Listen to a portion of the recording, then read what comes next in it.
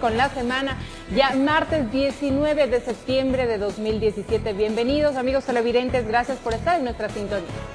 Acá apartamos, hay mucho para comentar. Estuvo movidito las horas anteriores. Así es, y tenemos todo el desarrollo informativo de la jornada del día de ayer y noche. Empezamos contándoles que en la vía Chimbo, el torneado Balsapamba, un accidente de tránsito dejó cinco personas fallecidas y otras siete heridas. El vehículo en el que viajaban cayó a un abismo ocurrió de madrugada. Por ahora presumen que el chofer habría perdido pista justo en la curva, en una zona despoblada y cayó un abismo de más de 150 metros de profundidad. Uno de los lugareños del sector de Santa Lucía que arribó al sitio relató que una sobreviviente llegó a su casa pidiendo ayuda. Una señora va a las doce y media, una de la mañana, pero le veo así herida las piernas y sin zapatos. La poca luz en la zona hacía el drama más profundo, solo escuchaban gritos de dolor y auxilio que salían desde la parte baja y nada podían hacer, solo esperaban que lleguen socorristas para poder descender y empezar las tareas de evacuación de los heridos y fallecidos. La gente así gritaban, eh, más dicho ya unos lloraban, una chica acá, adentro estaba atrapada y ella decía sáqueme, sáqueme, como no se podía, como estaba contra los fierros. El vehículo en el que viajaban quedó reducido a un puñado de fierros. Muchos quedaron atrapados entre las latas. El rescate de los afectados demoró hasta el siguiente día. Vamos, vamos. Es un área eh, peligrosa, es un barranco, estamos a 150, 200 metros aproximadamente. Se hizo todo lo humanamente posible para eh, inmediatamente socorrer a las víctimas. Dos hombres e igual número de mujeres, además de un menor de 12 años, perdieron la vida. Siete viajeros sobrevivieron a la mortal caída. Ellos fueron evacuados de urgencia a casas de salud de Los Ríos y Bolívar para atender la emergencia y aliviar las dolencias. Nos hemos solidarizado con la función judicial de, de Babahoyo, de Los Ríos, y con los familiares de los compañeros judiciales que han perdido la vida en este lamentable accidente. Las autoridades confirmaron que los viajeros eran funcionarios del Consejo de la Judicatura de Babahoyo, quienes regresaban desde la capital luego de participar en una capacitación. Hubo una reunión este fin de semana aquí en Quito convocado por la Federación Nacional de Empleados Judiciales. La función judicial está de luto. Varios de sus funcionarios fueron abrazados por la desgracia. Cuando regresaban a casa, la muerte se le cruzó al chofer en el camino. Unos quedaron en medio de la ladera, otros llegaron hasta el fondo del barranco. Informó Iván Casamen.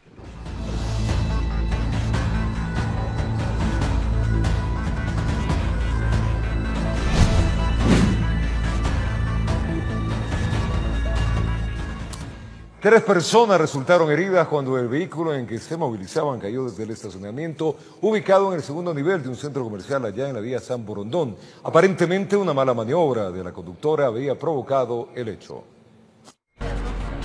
¡Hay que romper el vidrio!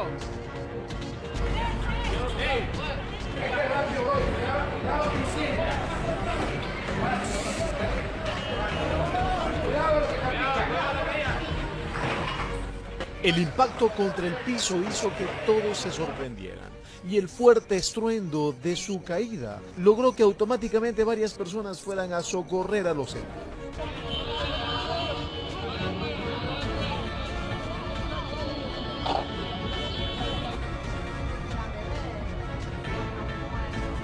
Se trató de un accidente el cual se habría suscitado en la parte alta de un parqueadero en un centro comercial, en la vía San Borondón.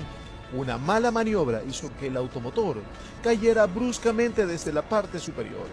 Dado que un vehículo que se disponía a parquearse en la planta superior de un centro comercial se precipitó a tierra, eh, causando heridas a sus ocupantes y lógicamente dándonos a nosotros una emergencia en la que nos tocó trabajar de forma rápida.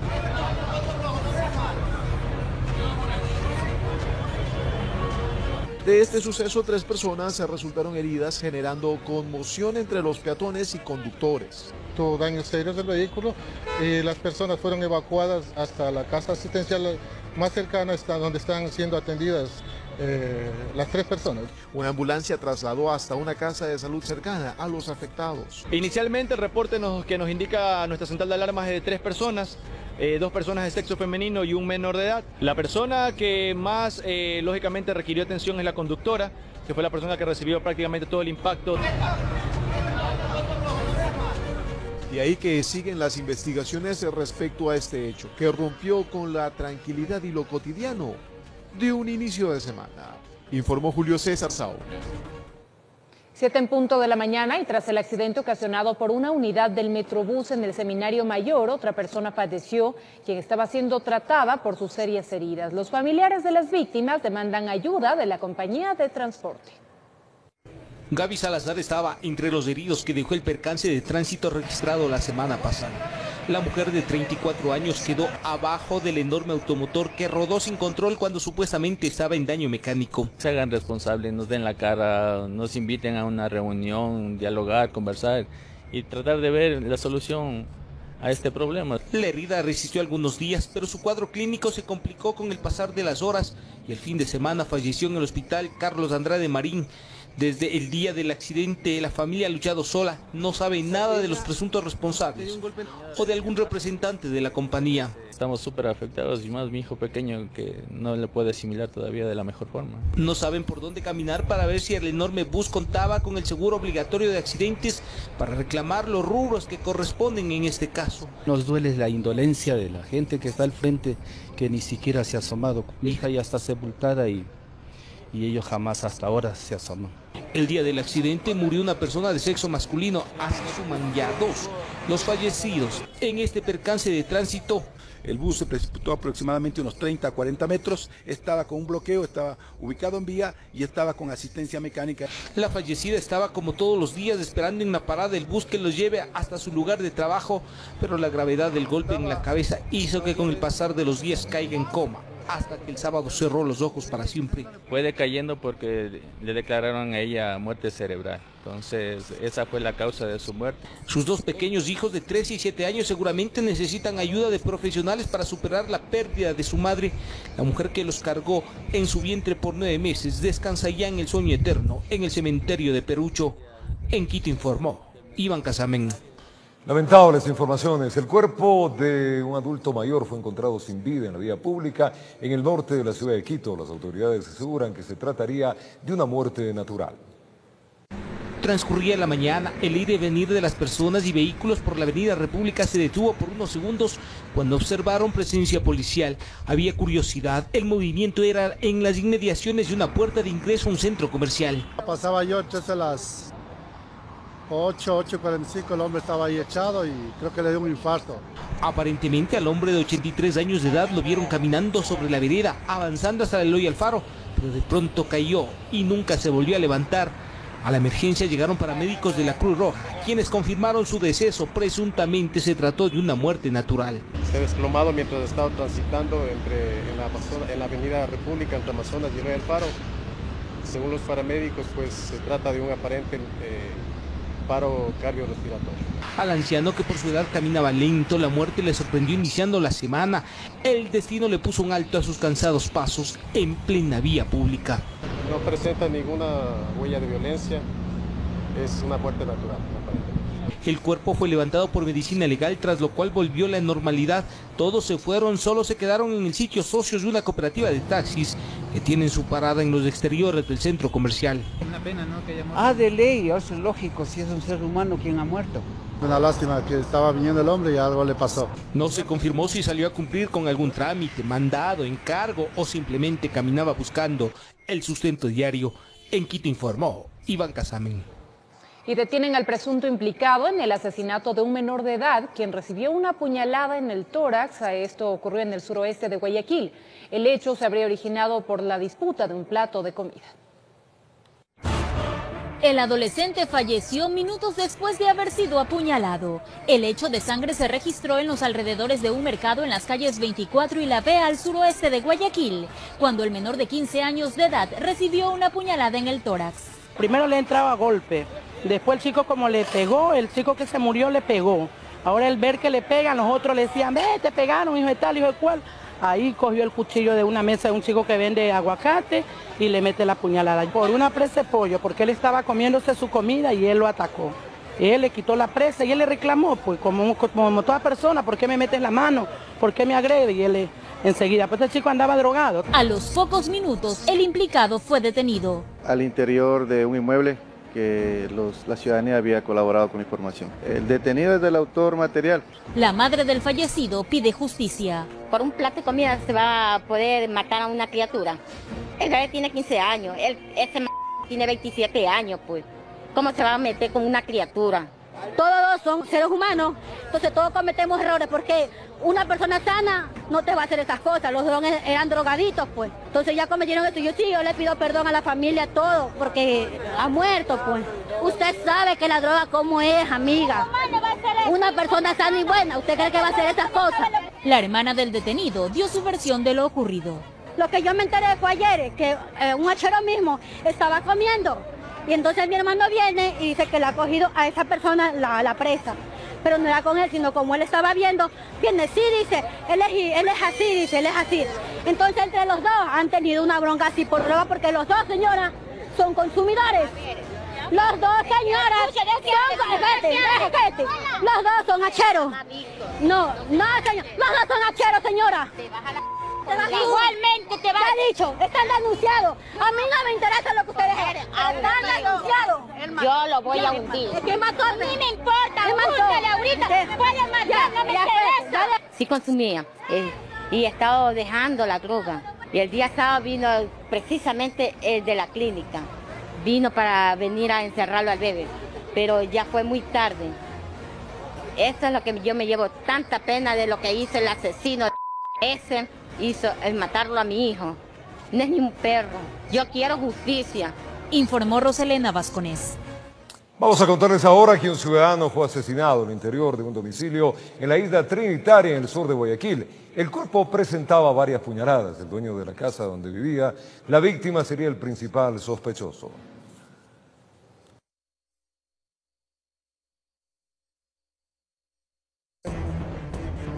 Lunes 4 de la mañana. A esa hora solo se escucha el ruido de los camiones transitando por la vía perimetral. Sonido que ya resulta familiar para los habitantes de la cooperativa 22 de abril. Sin embargo, saltaron de sus camas al escuchar unos gritos desgarradores.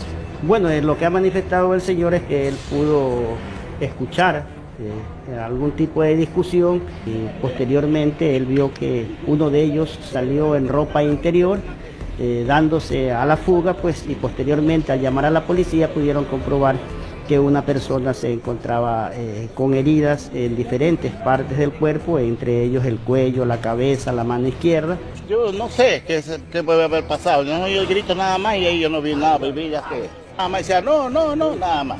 Según las versiones, la persona que corría con poca ropa es el dueño de casa. La noche anterior lo escucharon en plan de bohemia dentro de la vivienda, pero nadie pudo precisar si era con el ahora occiso o si se trataba de algún grupo de amigos. Él no es aquí, nosotros no, lo conocemos. No, él no es aquí. El panita aquí sí, porque el man vive, vive solo. Según se ha manifestado, pues el ciudadano vestía con una blusa color turquesa y un boxer color plomo. Moradores del sector intentaron llamar a las unidades de auxilio, pero la víctima falleció casi al instante. Sí, han estado ligando ahí adentro. Y ahí en, ese, en esa ligación ah, tiene que haber sido alguna discusión, pues que... Por el momento se investiga las causas del crimen y cuál es el actual paradero del dueño de casa, señalado como el principal sospechoso, hasta que las indagaciones expresen lo contrario, informó José Morales.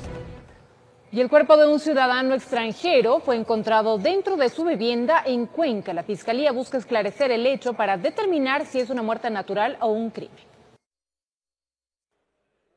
Robert era el nombre del ciudadano americano encontrado muerto en la habitación del tercer piso de un edificio ubicado en el centro histórico de la ciudad de Cuenca, donde vivía desde hace dos años disfrutando de su jubilación. Llegó acá y siempre ha estado comprando, eh, siempre ha estado pendiente, bajando a la tienda, saliendo. El occiso laboraba, dicen, a través del internet. Se dedicaba a hacer trabajos por internet, yo creo que en algún sitio, no sé exactamente. Uno de sus amigos señala que el fallecido tenía 75 años de edad y que sufría del páncreas. Yo le trataba de aconsejar, bebía mucho, pero así es la vida, ¿no? Por lo tanto, se presume muerte natural.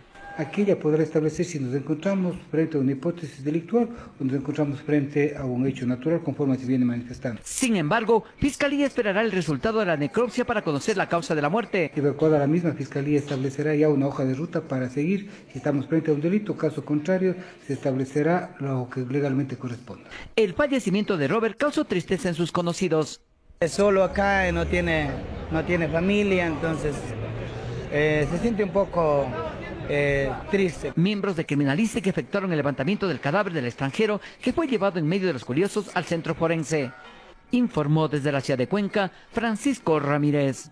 Después de la difusión de un mensaje en redes sociales por un interno de mediana seguridad recluido en el penal Bella Vista, elementos policiales realizaron un operativo en el que decomisaron celulares y otros artículos prohibidos.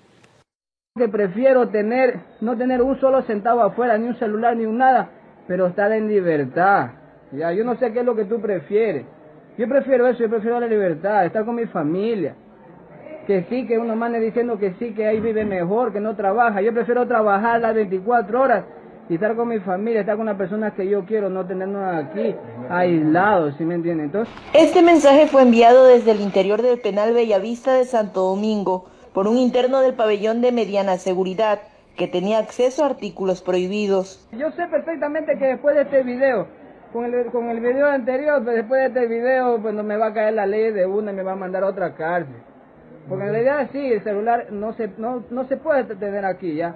Pero denos comunicación con nuestra familia, denos, denos una cabina o alguna cosa. Por ese motivo, la Dirección General de Inteligencia realizó un operativo en dicho pabellón, dejando como resultado seis privados de libertad detenidos, siete teléfonos celulares, cargadores, sustancias prohibidas y dinero en efectivo decomisado. De la Policía Nacional hace operativos constantes en el CRS para controlar y evitar que ingresen objetos prohibidos a, este centro de rehabilitación. Se están haciendo las investigaciones pertinentes acerca de unos mensajes que salieron de, de una de las celdas. Quien realizó el video menciona que se han reducido las visitas de familiares y la necesidad de comunicación para evitar tener que adquirir celulares de manera clandestina, situación que se repetiría en todos los penales del país.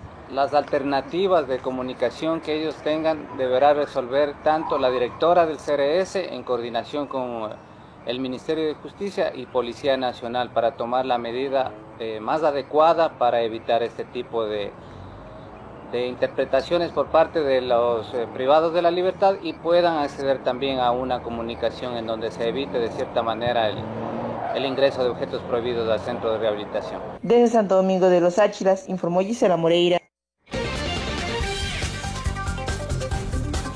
para la consulta popular cuya presentación oficial se realizará el próximo 2 de octubre. El mandatario insistió en que cuando parte de su equipo de seguridad sintió una alta temperatura en la pared del despacho presidencial, nunca se imaginó que allí había una cámara oculta. Por eso le formula más de una pregunta al presidente saliente. Primero, ¿usted ordenó colocar esa cámara? Segundo, ¿para qué la utilizaba? Espero que no haya sido para filmarnos en el buró político o a los ministros con los cuales conversaba. ¿Y con qué fines? Tercero, ¿por qué no se me comunicó de su existencia? Y más grave, ¿por qué estaba todavía funcionando? Cuarto, usted habló de que había gente al interior del, del gobierno que le pasaba o le pasa documentación. Se preguntó entonces si aquello era o no espionaje o deslealtad, que el tema ya está en manos de la Fiscalía General del Estado, pero además por cuerdas separadas. La presidencia contrata la investigación de un equipo de seguridad internacional. Ser grabado sin consentimiento es algo oscuro que va contra los valores mínimos de ética. Sobre la consulta popular celebró que varias organizaciones de la sociedad civil se hayan sumado al diálogo nacional con sus preguntas y planteamientos. La consulta es un hecho, dijo, les pido enviarlas a mi despacho máximo hasta el 26 de septiembre, pues el lunes 2 de octubre presentaré oficialmente el contenido de la consulta. Informó Jorge Escobar.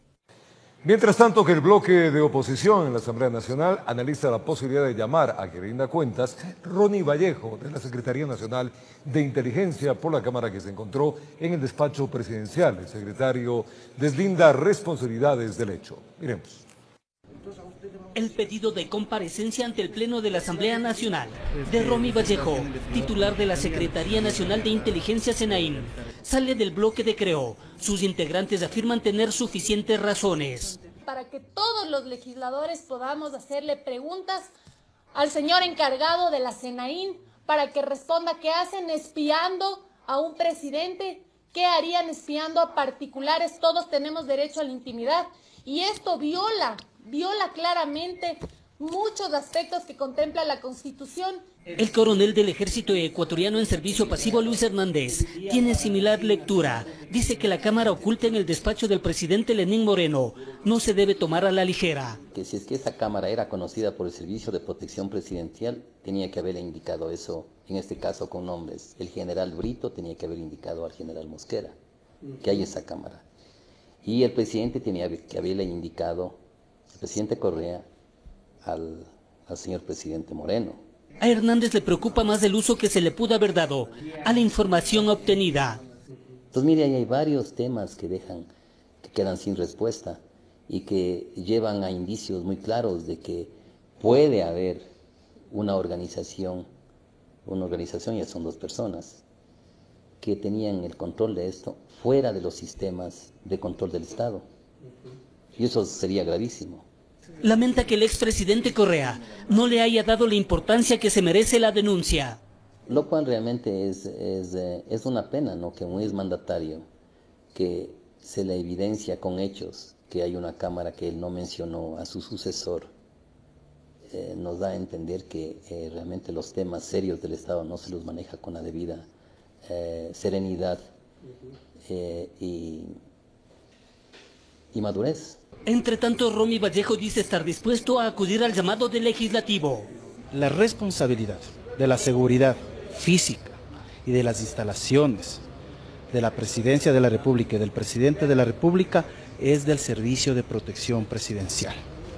Entonces ellos tendrán que decir qué es lo que pasa. La Secretaría no tiene nada que ver. Informó Héctor Romero.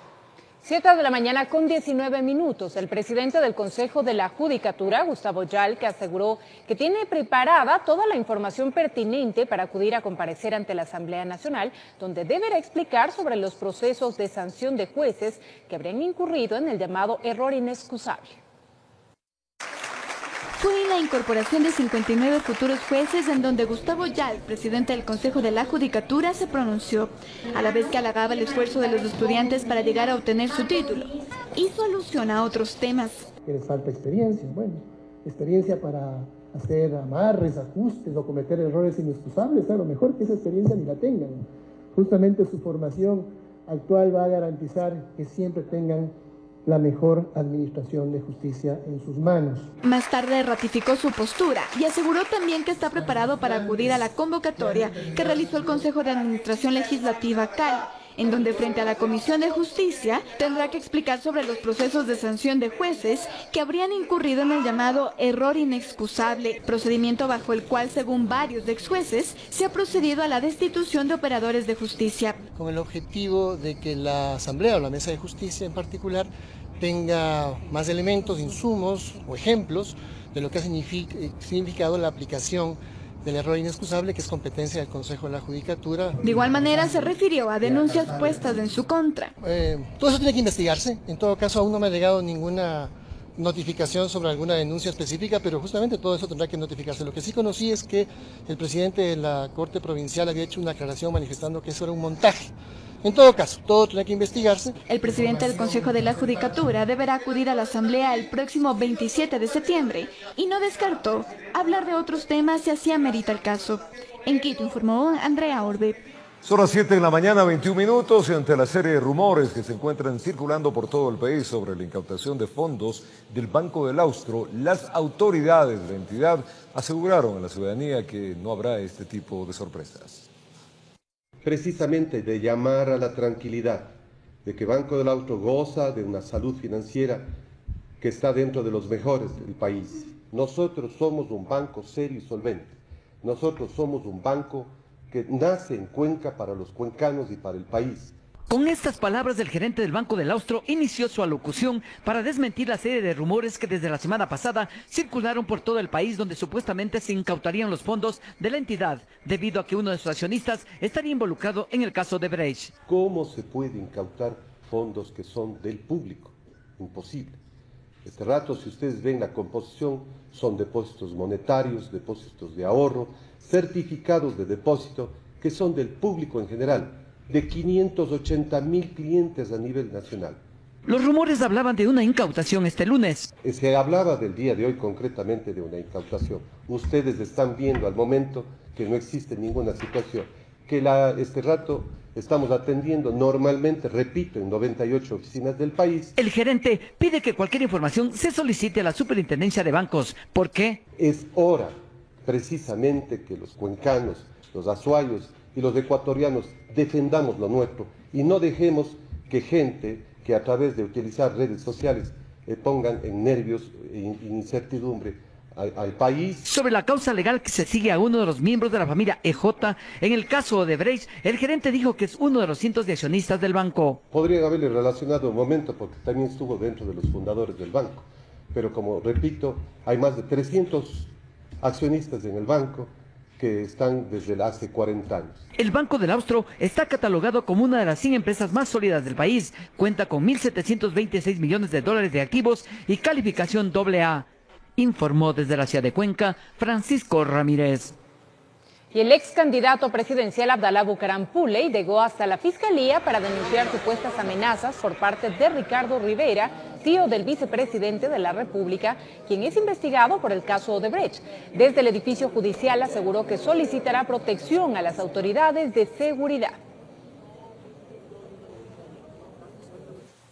Un presunto delito de peculado se habría cometido en la intermediación aplicada para la venta de petróleo ecuatoriano China, mm, ecuatoriano a China y Tailandia. El perjuicio ascendería a 2.200 millones de dólares. Así lo denunció Fernando Villavicencio y el Colegio de Abogados de Pichincha. El activista político Fernando Villavicencio dice haber dejado de lado el trámite de asilo político en Perú para retornar a nuestro país y denunciar el supuesto delito de peculado que se habría cometido en el gobierno del expresidente Rafael Correa con la intermediación de la venta del crudo ecuatoriano con China y Tailandia. Petroecuador venía entregando su crudo con un diferencial con un castigo de casi, casi 4 dólares por barril. Hacen una venta spot, es decir, un concurso público y resulta que no hay castigo. Se presenta un premio de 0,51. Es decir, que lo que el país estaba perdiendo era más de 4 dólares por barril. Ya no es Villavicencio, ya no es García, ya no es la prensa corrupta, no. Es el mercado el que acaba de decir, aquí se estaban robando 3, 4 dólares por barril. Dicen que en total serían 2.200 millones de dólares de perjuicio al Estado ecuatoriano. Denuncia que Villavicencio la presentó apoyado del Colegio de Abogados de Pichincha. Tiene 105 páginas y 136 anexos. La pondrán en manos de la Fiscalía General del Estado para que se inicien las investigaciones. Aquí no solo se menciona al exmandatario Correa, sino al actual vicepresidente Jorge Glass. Existir malos manejos de fondos públicos, eh, su sugerimos que el tipo penal sea el de peculado. Villavicencio tiene una orden de detención por supuestamente haber divulgado información reservada de Correa pero cree que ya era hora de regresar al país. Y ante un pedido del presidente Lenin Moreno, de que todos los ciudadanos que sepan del cometimiento de delitos o de casos de corrupción, no se callen, que entreguen información. Efectivamente hay una orden de prisión preventiva en contra de Fernando, pero también existen medidas cautelares dictadas por la Comisión Interamericana de Derechos Humanos en el cual se protege su libertad personal. Informó Héctor Romero. Y precisamente tras conocerse la presencia de Fernando Villavicencio en el país, la noche de este lunes la Policía Nacional cercó los alrededores de la vivienda del periodista mientras esperaba una orden de allanamiento. Villavicencio cuenta con una orden de prisión en su contra por supuestamente revelar información reservada del gobierno del expresidente Rafael Correa y estuvo refugiado desde el mes de abril en Perú. Hasta los exteriores de la vivienda llegaron varias personas que apoyaban al activista político. Mientras tanto, la esposa esposa de Vida Vicencio, Verónica Saraus, informó que elementos de la Policía Nacional aparentemente querían ingresar en la vivienda para proceder con la detención del comunicador. Vamos a contarles que este lunes el primer mandatario, Lenín Moreno, inició su primera gira presidencial. Moreno acudirá a la reunión anual de líderes mundiales, estos en las Naciones Unidas, y además cumplirá una apretada agenda de reuniones bilaterales con otros países.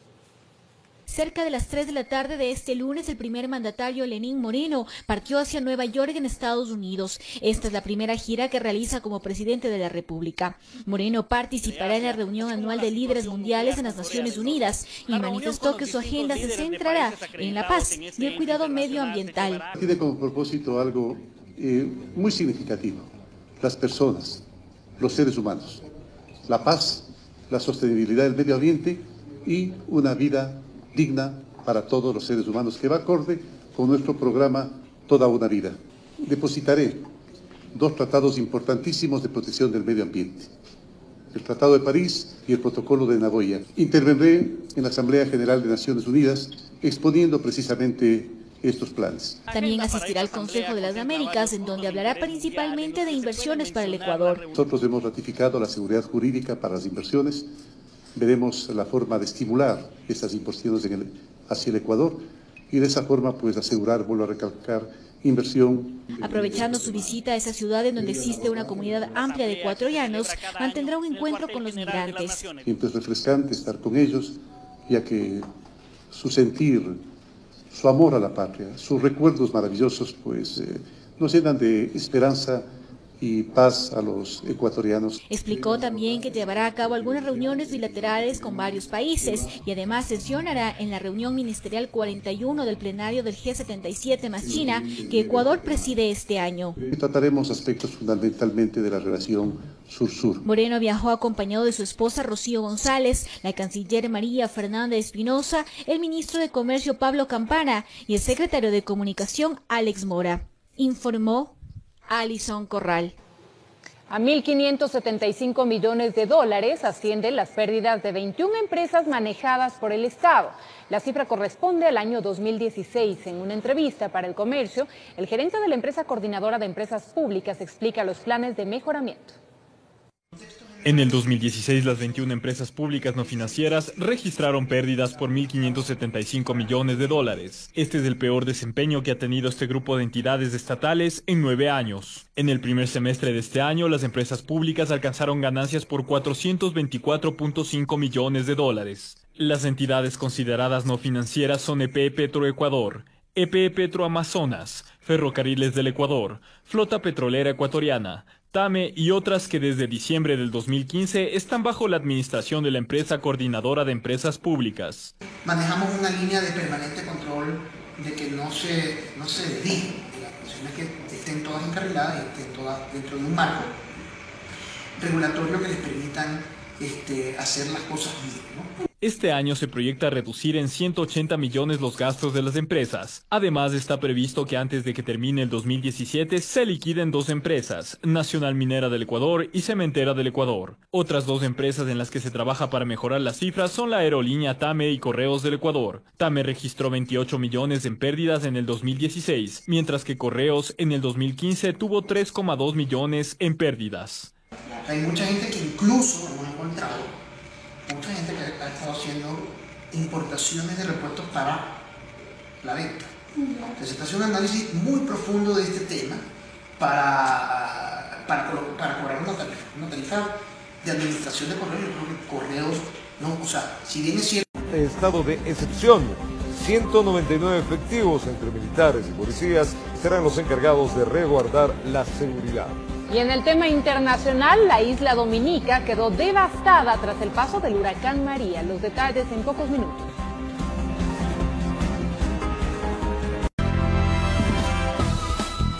Estamos de regreso con información en el Comercio TV y les contamos que el Comité Sectorial de Seguridad, conformado por el Ministerio del Interior, la Secretaría de Gestión de Riesgos, la Policía Nacional y las Fuerzas Armadas, entre otras instituciones, dieron a conocer el plan integral para ejecutar el operativo de seguridad en Saruma y Portobelo, una vez que se declaró el estado de excepción en estas localidades.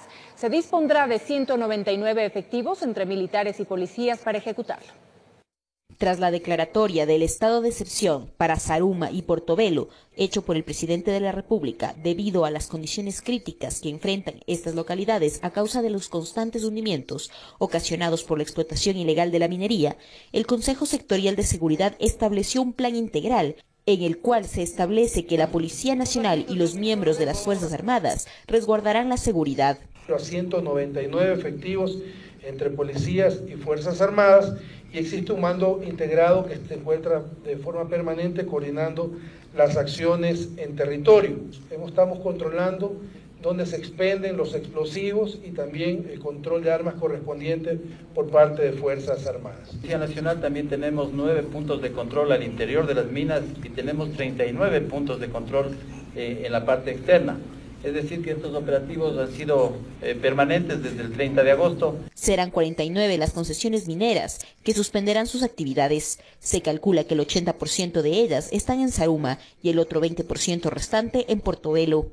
De estas 49 eh, concesiones se va a hacer un análisis técnico eh, detallado de cuáles son las que tienen una influencia negativa eh, directamente en el centro histórico de Saruma. durante todo este proceso, eh, verificar cada uno el cumplimiento de los requisitos de operación de las, de, de las concesiones, como son la licencia ambiental. Serían 1.800 hectáreas las afectadas. Mapear cada una de las áreas, o mejor dicho, del área cercana a la escuela, donde vemos que también podría existir peligros para viviendas eh, y también una, zona comercial, el mercado también está cercano a la escuela, entonces tiene que hacer un análisis detallado la Secretaría de Gestión de Riesgos. También se intervendrá en los domicilios que tengan bocaminas. Miembros de Fuerzas Armadas, Policía Nacional, ARCON y también de la Fiscalía. ¿no? Ese sería el equipo de intervención en territorio, principalmente en las viviendas que se van a, a verificar la existencia o no de bocaminas. Informó Andrea Valareso. El secretario de la CENACID, Augusto Barrera, aseguró que los recursos de las universidades están garantizados. Esto luego de solucionar la reducción del presupuesto del 2017. La brecha que existía en el presupuesto para la asignación de recursos a las universidades según la CNCID y el Ministerio de Finanzas ya fue solucionado. Según el secretario de Educación Superior Augusto Barrera, la reducción del presupuesto 2017 es de 70.5 millones de dólares y no de 229 millones como lo había manifestado el presidente de la Comisión de Educación del Legislativo, Augusto Espinosa. Desafortunadamente la comisión, como yo señalé en el taller, ha sumado unas cosas con otras. Por ejemplo, la inversión en Yacha y todo eso no está en el FOPEDEUPO. Y ahí estaban sumadas todas las universidades. Esas inversiones no están en el FOPEDEUPO. El FOPEDEUPO está orientado en este momento a las universidades ya establecidas. Por lo tanto, todas esas están excluidas. Esto lamentablemente generó más confusión todavía. Para cubrir esta diferencia, las universidades tienen tres vías. Hacer uso de los recursos del FOPEDEUPO, acceder a créditos del BEDE para inversión por 50 millones de dólares y además la devolución del IVA por proyectos de inversión. Con ello estaríamos cubriendo inclusive con un excedente el nivel de disponibilidad que tuvieron el año anterior. Las universidades manifiestan que fruto del diálogo se ha conseguido cubrir esta brecha, sin embargo consideran que esta es una solución temporal. Sí hemos solucionado parcialmente el problema, pero tenemos dos cosas adicionales. Todavía no logramos que nos hagan las devoluciones de los recursos de autogestión de los dos últimos años y tampoco hemos logrado ver si se llega a otro acuerdo para poder financiar las compensaciones de los funcionarios que se retiraron de manera voluntaria. En las universidades vamos a poder dormir tranquilamente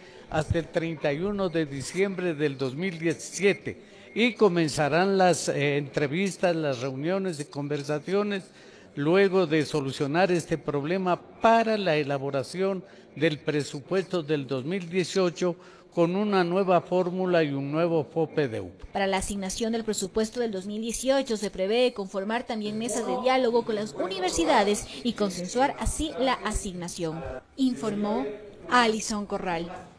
Y a través de un comunicado, la empresa pública de correos del Ecuador anunció que todos los envíos que ingresen a Ecuador por comercio electrónico con un peso de hasta 2.000 gramos deberán cancelar una tarifa de 3 dólares con 51 centavos, incluido los impuestos. Esta nueva medida entrará en vigencia desde el próximo 1 de octubre de 2017. Además, se esclareció que todas las compras en línea deberán ser registradas en la página web de la entidad. Esto con el objetivo de agilitar trámites de entrega y que el usuario conozca cuándo llegue su encargo. Vamos a contarles ahora que 89 unidades de transporte público en Quito han sido sancionadas por el mal estado de sus llantas, luces. Asimismo, 108 buses fueron citados por exceder los límites de velocidad. Un informe al respecto. El plazo de 30 días para mejorar el servicio que presta el transporte público obligó a intensificar los operativos de control a los buses. La Agencia Metropolitana de Tránsito, AMT, incrementó las brigadas para revisar documentos, estado de las unidades y la velocidad en las vías. Los controles se realizan a diario en varios puntos de la capital con dos radares móviles. Entre el 7 y 15 de septiembre, 108 buses fueron citados por exceder los límites de velocidad.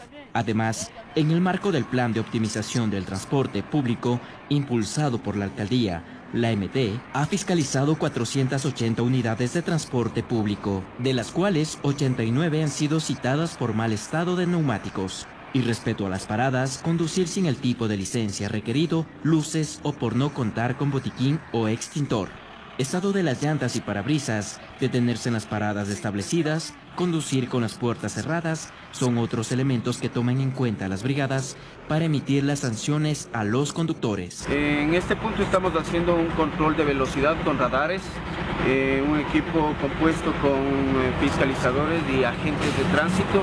Eh, se instala el radar eh, a una distancia prudencial y el segundo equipo está en este punto.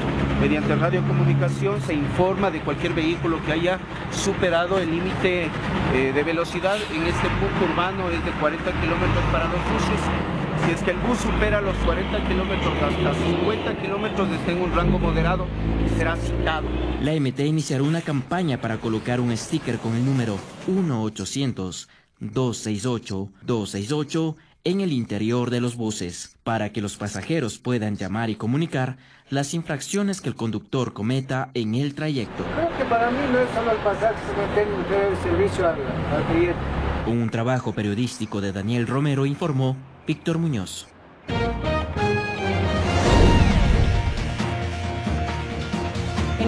Amigos, vamos a pedirles que por favor presten atención, hay que echar la mano, la ayuda necesaria a un jovencito llamado Nedis Quispe. Este muchacho tiene 20 años y lamentablemente sufrió una descarga eléctrica. Esto le ocasionó severas quemaduras de aproximadamente el 40% de su cuerpo y podría perder, que es lo más grave, sus manos. Tiene heridas profundas. Los familiares están pidiendo la ayuda necesaria para poder salvar su vida y tenerle de vuelta siendo una persona productiva. Si podemos ayudar, echemos la mano. Veamos. Yo adelante de él, yo no puedo llorar, me aferro tranquila, salgo acá, ahí puedo, ahí puedo llorar. El dolor de Gloria Tubón es por la situación de salud de su nieto, a quien le llama hijo porque fue ella quien lo crió y lo vio crecer. Días atrás, Denise, de 20 años de edad, se electrocutó con una varilla mientras se ganaba la vida en una construcción lo electrocutó con la varilla y le explotes por las piernitas y las manos, pero con lo que ha cogido la varilla con las manos, este, es las más afectadas. Tras el accidente, el joven tiene el 40% de su cuerpo quemado. Las lesiones se localizan en sus brazos y piernas. Los doctores le advirtieron que podría perder sus manos por las heridas, lo que más le preocupa a Gloria ya que el sueño de su nieto es ser arquitecto. La más afectada es las manitos. Usted sabe que las manitos es lo, lo primordial para una persona.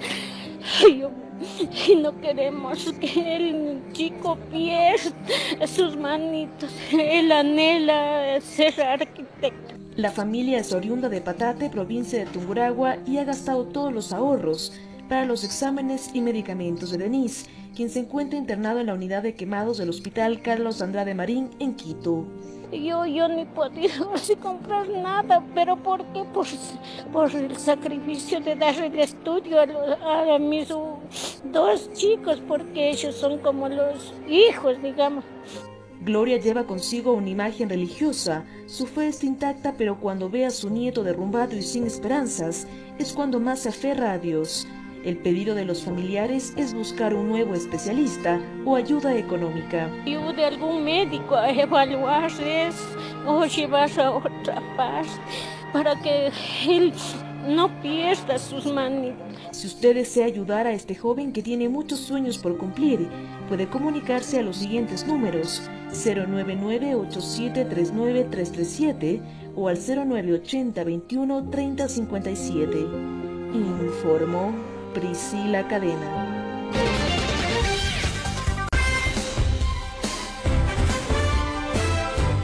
Sí, señora, ha llegado el primer noticiero de la comunidad. Aquí estamos para compartir las noticias del Distrito Metropolitano, las novedades y todo lo que podemos hacer en favor de Quito, mi querida Berito. Así es, así que por favor, únase a nuestra señal, únase también a todas las denuncias y problemas para dar a conocer a las autoridades que también están pendientes. Recuerden el número de WhatsApp, el 098-518-4393, para que sea parte de este, el primer noticiero de la comunidad. Estoy receptando la receta para no quedarme sin voz, parezco gallo Claudio. Estoy comenzando a...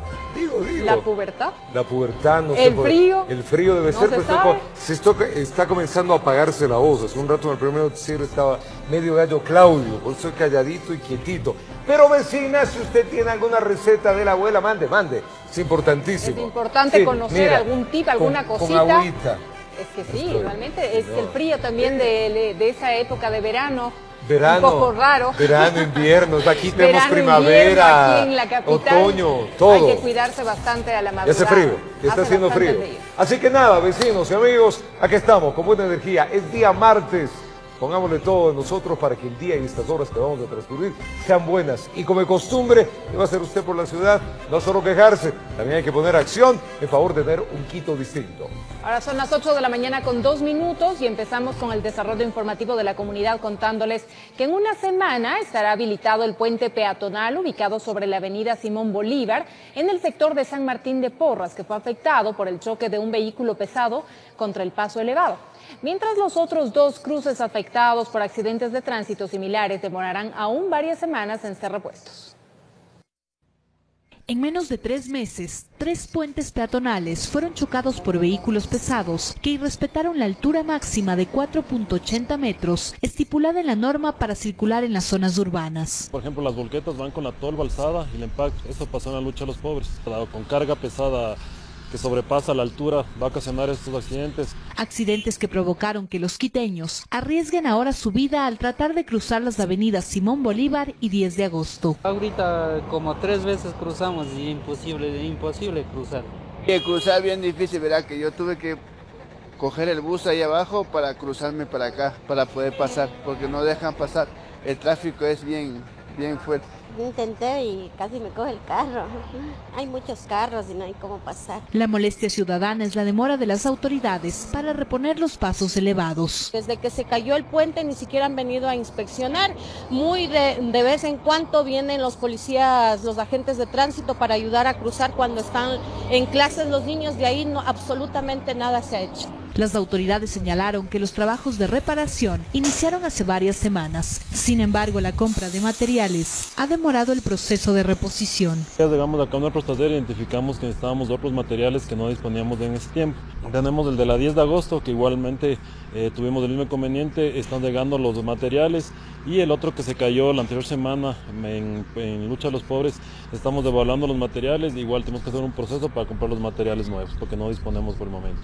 Se espera que en una semana esté habilitado el puente peatonal de San Martín de Porras. A finales del mes de octubre el paso elevado de la 10 de agosto y en seis meses el de la entrada de la lucha de los pobres. Porque ese tuvo más daños que el de, la, que el de San Martín. El de la lucha de los pobres de San Martín de Porras están relativamente cerca.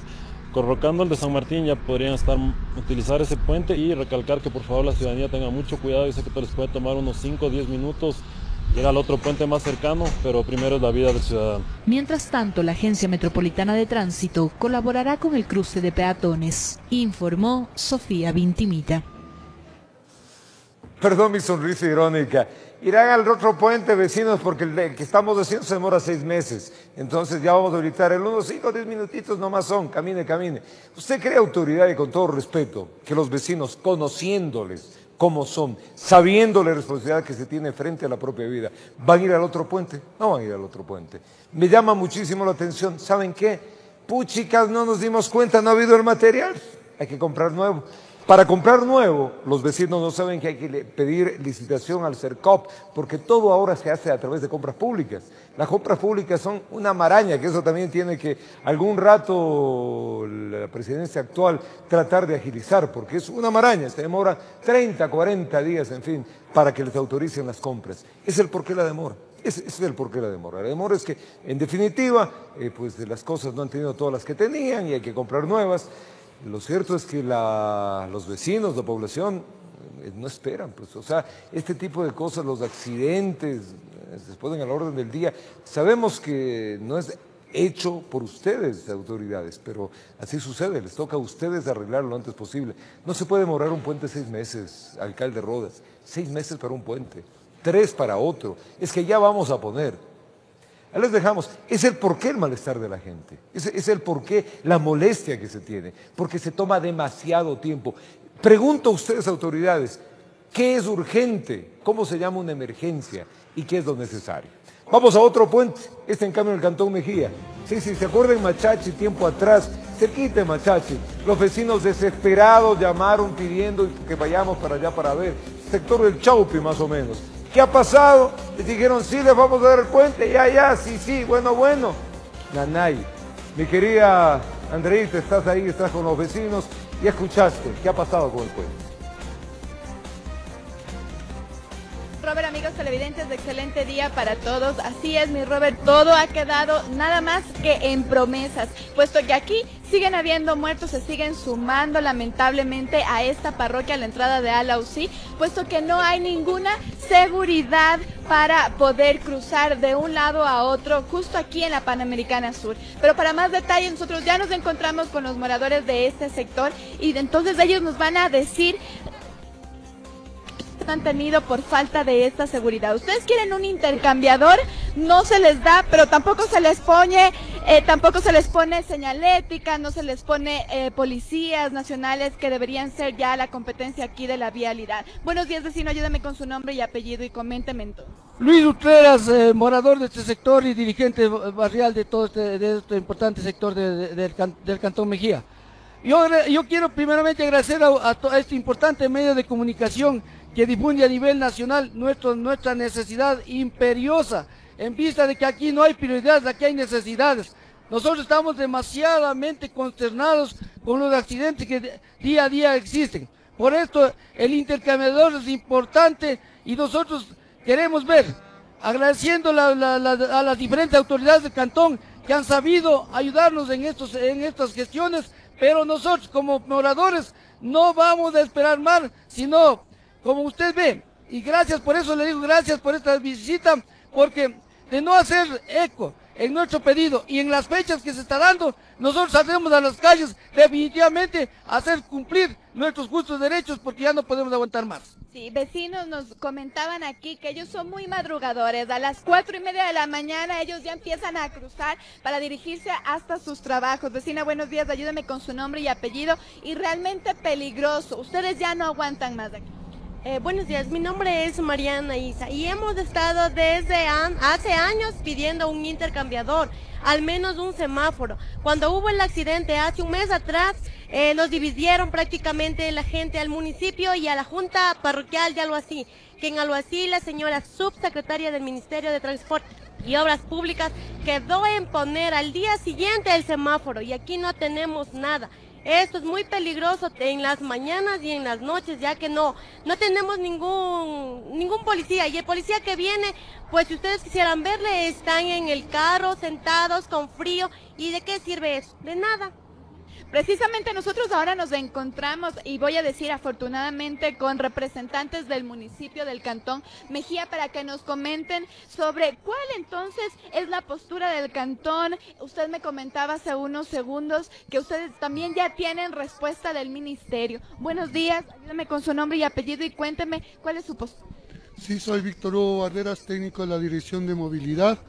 Definitivamente la postura del señor alcalde, economista Ramiro Barros, desde que inició su periodo, ha sido la lucha permanente para solucionar el gravísimo problema que tenemos aquí en la carretera E36 Mejía por el alto índice de accidentabilidad que tenemos. Usted me decía que en este tramo somos el, pues, el mayor índice de muertes de aquí. Así mismo es. Nosotros tenemos más o menos un promedio de 61, de 61 muertos por cada 100 mil habitantes, tomando en cuenta que a nivel nacional tenemos menos de 20 a, nivel latinoamericano. ¿Qué ha dicho el ministro? Van a realizar aquí. Si podemos Sí, hace dos semanas el señor alcalde tuvo una reunión con el señor ministro de Obras Públicas en el cual expuso argumentos contundentes sobre la cuestión que tenemos aquí. Entonces el señor ministro dispuso que se, que se atiendan todos los, los pedidos que hizo el señor alcalde Entiendo por lo que hemos conversado que también se ha dicho pues que se va a poner en el presupuesto para el próximo año, pero como nosotros decimos, aquí yo me uno a la exigencia de los moradores, queremos respuestas, queremos que las promesas se cumplan y estos tiempos estimados ya se empiecen a cumplir también. Esta es la información que nosotros tenemos desde este punto, ustedes siguen con más en estudio. Excelente día para todos. Gracias, Anreita. Lamentablemente la vivo, la señal streaming estaba fallando, pero era importante escuchar las posturas.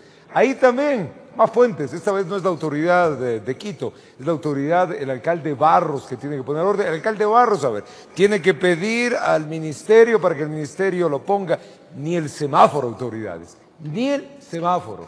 Entonces, ¿cómo no van a estar indignados los eh, vecinos de este sector? ¿Cómo este sector a, no? Sí, ¿no? Mire, vamos a prender la velita a ver si la Virgencita del Quinche, autoridades que les corresponde del tránsito en ese sector, tengan la amabilidad, atiéndanles. ¿Cuántos muertos más quieren? Esa es la pregunta. Ahí van a decir, puchicas, había que poner el puente, hay que señalizar. Por favor, no seamos indolentes de muchas cosas. Perito. Ahora son las 8 de la mañana con 12 minutos y les contamos que moradores de la parroquia de Calderón en el norte de Quito solicitan a las autoridades el retiro de un muro que está ubicado en la mitad de la calle que desde hace tres años impide el acceso a la vía principal de esta zona. Veamos. Según el relato de los moradores, de la noche a la mañana este muro fue construido en la mitad de la calle Huayna Cápac, inhabilitando el paso de los vecinos del sector de Marianitas hacia la vía principal. Los habitantes señalaron que acudieron a la administración zonal para investigar la construcción de esta pared, la cual no fue autorizada por las autoridades. Hace tres años venimos haciendo el trámite para que esta pared sea votada, ya que esto es una calle, es una calle transversal. Esta calle da a la, a la calle principal Amalia Origen. La denuncia ciudadana incluye los múltiples inconvenientes que tienen por este muro, entre ellos la inseguridad en la zona. De lo que fuman, toman. Nosotros no tenemos ni siquiera otra apertura para, para todos los los propietarios de aquí, ¿no? Además del mal estado vial provoca afecciones respiratorias constantes. Están llenas de polvo, entonces esto genera este una contaminación ambiental y por ende que uh, las personas, o sea, estemos afecta a nuestra salud. Cuando llueve se vuelve puro lodo, entonces no tenemos otro acceso. No tenemos otro acceso de salida.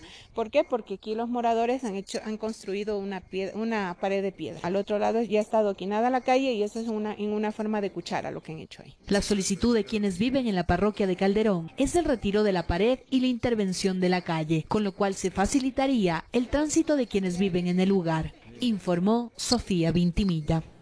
Y la pregunta es, ¿quién les dejó a los moradores que cierren eh, pues la vía, ¿no?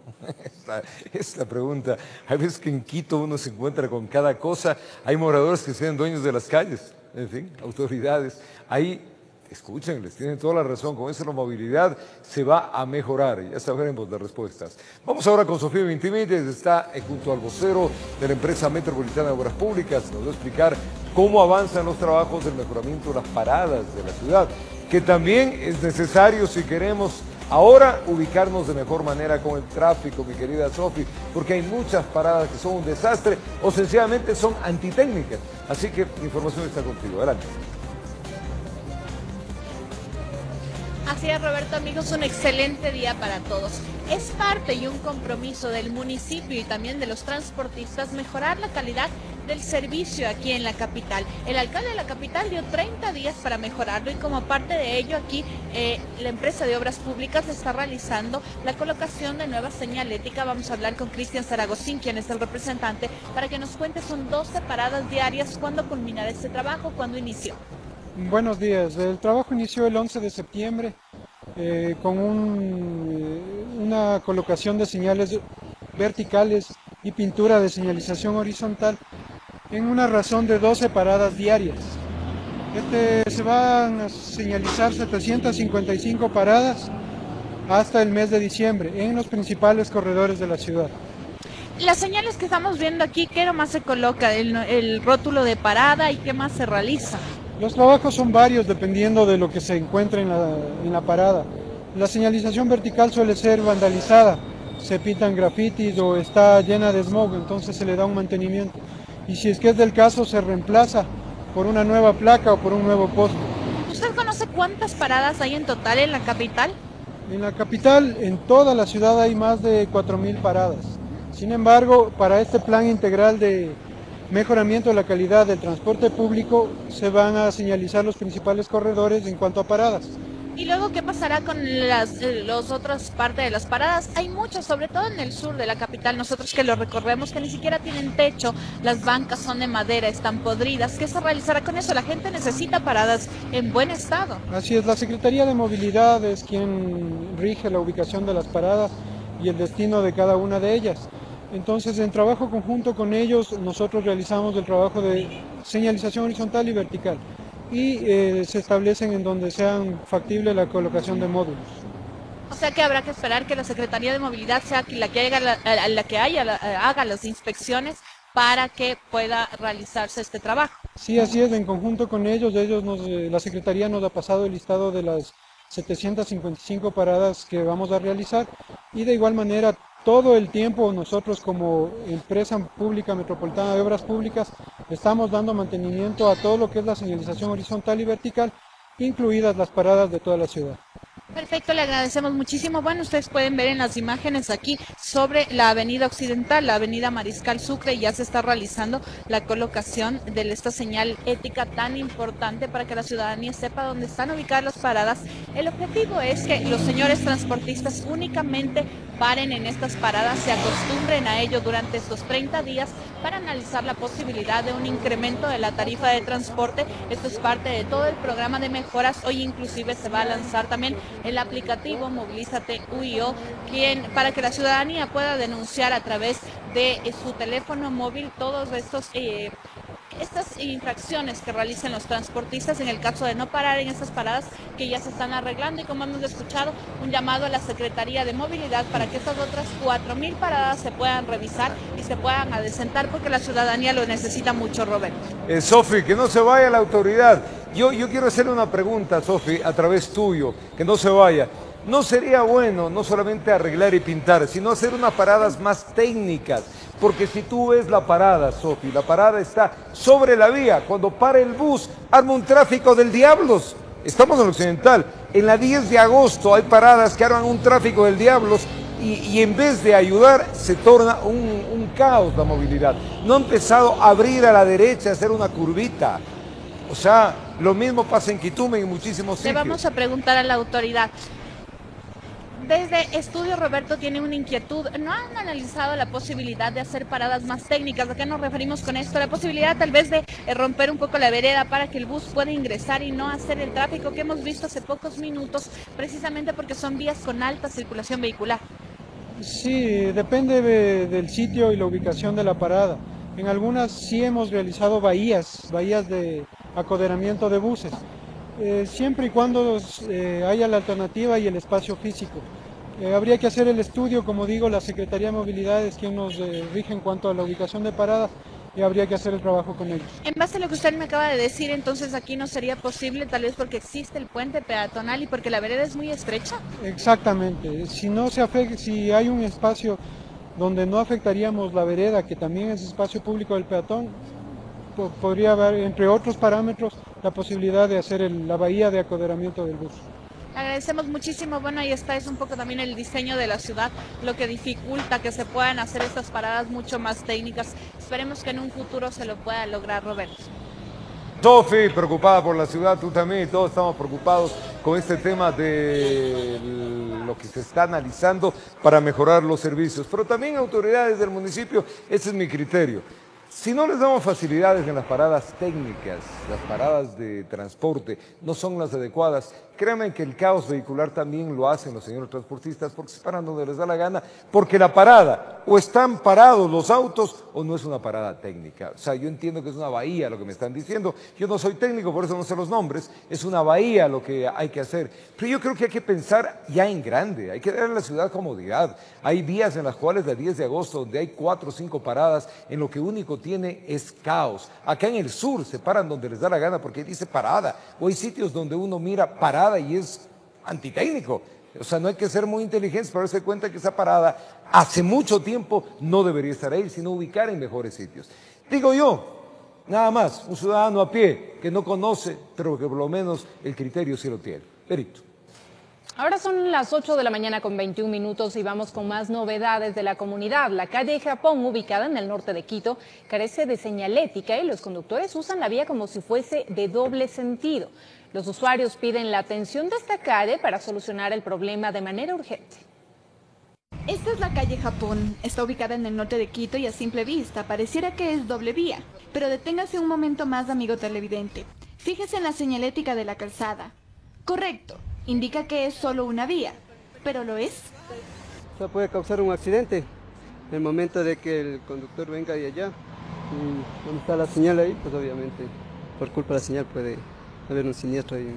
Esta confusión se ha prestado para que varios vehículos escapen a impactarse entre sí, pues al no tener más que esta señalética, es decir, al carecer de rótulos que indiquen cuál es el sentido verdadero de la vía, los conductores manejan como su instinto lo dice. Yo como chofer siempre me confundo, yo me, dirijo por la, por la señalética, pero lamentablemente eso no corrigen las autoridades y, y eso ocasiona muchas veces hasta accidentes. Los peatones también resultan perjudicados el momento, por ejemplo, al ver la fecha, la flecha, yo voy a ver carros que viene de allá. Entonces, si viene un carro por acá, pues obviamente puede haber un percance ahí.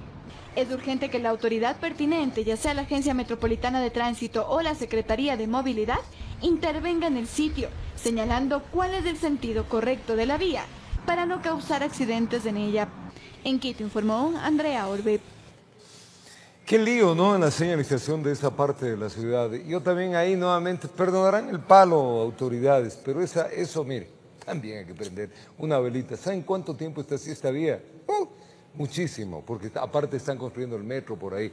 Poner señalización es todo lo que están pidiendo para evitar accidentes, eh, evitar eh, las multas y sobre todo es una vía de desfogue, por esa vía desfoga el tránsito de las Naciones Unidas hacia el norte, hacia, hay un colegio me parece, y también se va hacia la avenida eh, Amazonas. En fin, ahí sabremos si nos hacen caso o no, puesta la denuncia, puesta la ayuda y está en su cancha autoridades. ¿Les parece el paso del peatón?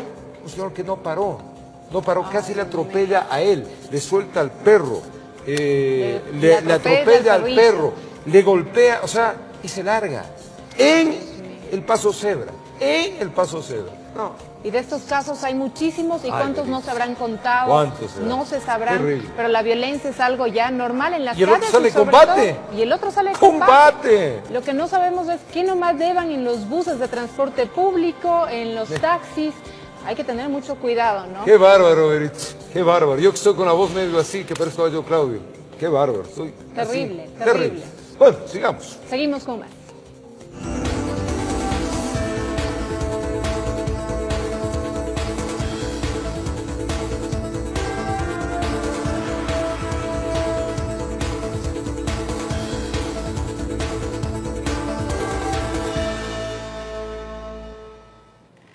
Música, danza y sentido de vecindad es lo que distingue al barrio La Isla en el sector de Solanda al sur de Quito.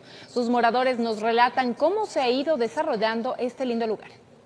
Un ambiente cálido, amable y un sentido de vecindad es lo que encontramos en el barrio La Isla en Solanda, al sur de Quito. Walter Chávez, morador del sector y presidente del barrio, nos relata cómo nació la isla. La quebrada de Río Grande, una quebrada correntosa, sumamente correntosa, eh, los primeros días que nos entregaron las casitas eh, hubo un diluvio, si vale el término, se nos fueron casitas en la quebrada. Este barrio que cuenta con casas de dos y tres pisos, hermosos parques, era hace más de 40 años una hacienda. Los pocos habitantes no contaban con servicios básicos, es así que el agua se abastecían del río que pasaba por el sector. lavábamos nosotros en la quebrada, porque salía el agua de la vertiente. Entonces sufrimos mucho. Y todo esto era puro eh, césped. La falta de transporte y las dificultades que tenían hicieron que creen una línea de buses para su barrio. Eh, por unos cuatro vecinos de Solanda eh, compraron buses y, les ayudamos a la creación de la cooperativa Juan Pablo, fuimos los creadores sin ser dueños de vehículos. La unión de la gente y las ganas de desarrollarse a la par que los barrios del norte hicieron que trabajen en comunidad para lograr un barrio que cuenta con todo y para todos, haciendo que sus moradores se sientan orgullosos de su sector. Tenemos centros comerciales, tenemos donde podemos ir a pagar la luz, entonces tenemos todo. Nosotros no necesitamos irnos ni, al centro histórico de, la ciudad, sino aquí mismo. A decir de don Walter, el barrio es de gente importante, ya que en el lugar han vivido varios periodistas que se radicaron hace varios años. Eh, en esta ciudadela eh, llegamos a vivir 14 periodistas. Entonces aquí tenemos que agradecer al diario La Hora, al diario Últimas Noticias, a todos los diarios, a la televisión, porque había reporteros y tienen sus casitas aquí, ¿no? A pesar de todo lo logrado, los habitantes del sector siguen trabajando. Es así que todos los fines de semana los vecinos se reúnen y organizan una feria con artículos elaborados con las manos habilidosas de los moradores del barrio. Nuestras chicas que hacen tejidos, tejidos a mano, en este caso colchas, hacen también esos juegos para los baños. Tenemos em, origami, que es lo bonito también como lo hacen mis, mis vecinitas de aquí, que son muy lindas, muy ajetreosas en sus cosas. Convencidos que la unión hace la fuerza y que con eso se consiguen grandes cosas, dejamos este sector lleno de algarabía, color y danza informó Patricia Aldaz. Yo no sabía que era el barrio de los periodistas, 14 vivieron ahí, qué lindo, ah, realmente, y se le ve lindo al barrio. Fuera de eso, la unión, se le ve que los vecinos conversan unos a otros, hay comercio, hay arte, hay cultura, lindo barrio para ir a visitarlo. La verdad es que este segmento es uno de los que me encanta, porque uno conoce que no solamente las necesidades del barrio, sino su gastronomía, sus costumbres, sus fundadores y lo que ofrece. Cada sector, cada distrito de Quito tiene eh, pues una diversidad que le vuelve a esta capital una de las, aparte de las diversas, una de las más hermosas de este continente. Y queremos recordarles que nuestro segmento Televicentro Visita tu Barrio siempre está dispuesto para conocer las historias de ustedes, sus necesidades y los pedidos a las autoridades. Y este fin de semana vamos a estar en San Miguel de Cotocollao por las fiestas patronales de este sector, así que invitamos a todos los vecinos para que se unan a nosotros y puedan ser parte de nuestros reportajes. Si usted desea que TVC llegue hasta su barrio, puede comunicarse al 099 44 37 830 099 44 37 830. Ahora es momento de nuestro segmento de buen humor con nuestro Capi PC. Bueno, eh, nuestro superhéroe. Mira, me encontré ayer con una vecina que dice que Pesete es su superhéroe. Así, su superhéroe, ni más ni menos, que hace ver las deficiencias de la ciudad. Y es que así es, nuestro querido Capi Peseta está siempre consciente y pendiente de qué es lo que ocurre en la capital. Y en esta ocasión se nos fue hacia el sector de la laguna de la Alameda. Qué lindo era ese sector, seguro, seguro ahí hay problemas. Seguro, hay, hay muchos problemas. Hay uno de los pasajes, una de las vías que le están utilizando como baño público. No, terrible. La gente también, la gente, vecinos, es, es terrible. Creen que o cualquier tacho de basura es para botar lo que nos da la gana, o cualquier... Sobre todo los varoncitos, ¿no? Qué horror. Sí, es una muy mala costumbre. Peseta, adelante mi switcher, veamos. Atento mi switcher me copia, atento mi switcher me copia. Punto húmedo, escalinatas del pasaje, arenas, papeles, todo el mundo firme. Todo 12, 12. 103 cordiales. 103 cordiales. Salud de a la J1. Saludos a J1, ¿cómo están? A J2 también de paso. A todo, a todo. De... A todas las Jotas. Todas las Jotas. ¿Qué ha pasado aquí? Bajando la bajada. ¿Ah? Que han estado haciendo pis. Oh, no. Bueno, eso sí está muy mal, ¿no? Como no hay quien aquí controla y todo. Acá hay igualmente que fuman, hay gentecita que están así tirados. Eso tiene que hacer una limpieza, compañero, ese sí. Todo el tiempo mal olor, malos olores, basura. ¿Quién hace pis ahí? Los malcriados. Los malcriados. que tengamos más cultura y respeto por los demás. Cultura chorrera. Sí. Es censurable el hecho, pero lamentablemente más creo que pueden las necesidades de la persona y aprovechan la escalinata, ¿no? Eso no es justificación. De ninguna manera, pero estamos hablando del género masculino que no espera nada, sino que donde encuentra la oportunidad. Cantolet. Así es, señor. Aquí vea que se orina, oiga, la gente desadaptada, ¿no? Entonces, a nosotros nos, los quiteños eso nos eh, incomoda, nos eh, ocasiona enfermedades. Tanto lugar que hay de las instituciones, pide un baño, ahí le dan. Si aquí hay baño público en la Alameda y en la plaza del Consejo Provincial. Oiga, y si es anciano, se aguanta un poquito, pues, hermano. Apretando la bomba. ¿Se ha puesto el saco de la liga usted? Así yo soy de Liga y de Nacional. Los dos eran toda la vida. Doble moral ha sido. Todo es de esta área de aquí, que siempre se pasa la gente orinando y todo eso, no tienen respeto por las demás personas que participamos. ¿Qué? Se puso el pantalón del torero. ¿Qué va? ¿Está bien? No es del torero. No, Del Paquisi. no, ¿qué va? El Tortuga. Sí puede ser. El Fandi. Ya le cuesnearon. No, todavía. Solterito. Soltero todavía. No la en el pato. No, ¿qué va? Mantenimiento. Ah, tiene carrerita. Sí. Pero 50. Dos dólares por ahí. La costa. Que no deberían orinarse, pues. ¿Qué es eso? Porque eso es una cochinada. Huele feo. Claro, La vecina no puede pasar al trabajo. claro que no. Bueno, yo les recomendaría a las personas que no hicieran eso, porque eso hace ver mal a la ciudad. Y además así huele muy feo también. La vecinita, papeles. Valencia, Costés, María Fernanda, Esmeralda, San Lorenzo, ecuatoriana, solterita. Claro. Modelito, placas de Esmeraldas, militar, ¿de qué división? Reo, 4x4, con cajuel. Son terribles ustedes. Circule, circule. Circule. Rompa filas, rompa filas. ¡Viva el Ecuador!